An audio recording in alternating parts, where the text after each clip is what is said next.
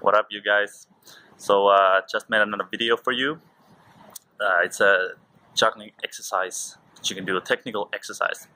So what it is, is, well first you can do it like, you can do it with three, four, five, six, seven, whatever, how many you want to use it, how many objects, balls, clubs, rings, whatever you can do.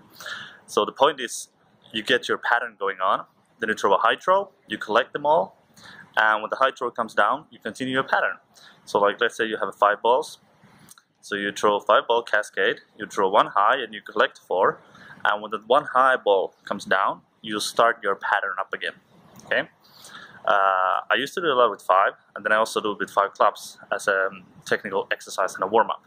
And now lately I've been started doing it with seven balls, just you know, to get my skill level more higher, to get my technical level higher. And yeah, and also been trying with 8 but that doesn't go so well. But anyways and I also use a ball and I, I have a ball on my forehead. So that keeps me from not moving too much and not jumping around.